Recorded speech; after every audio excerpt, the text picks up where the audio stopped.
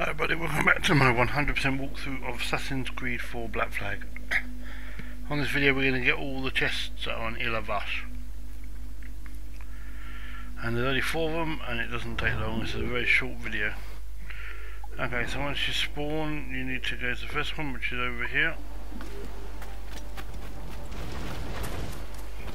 On this jutting out bit of the island over here. So go in front of it and loot it.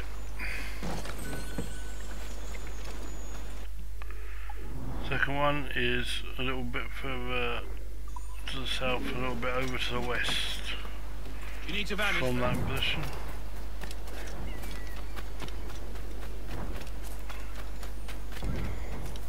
Just by this rock. And the last two are together on this island here. Gonna make your way there. Past the tavern.